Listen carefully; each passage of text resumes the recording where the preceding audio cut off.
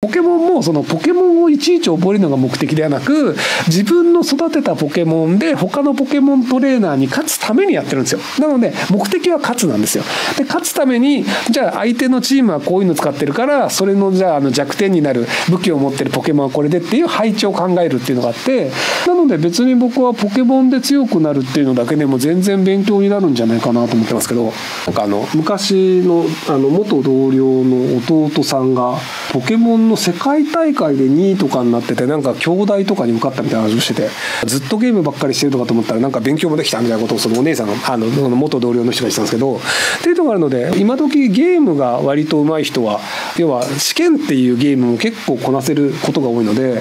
なので勉強するというのとゲームをするというのは僕は矛盾しないんじゃないかなと思うんですけど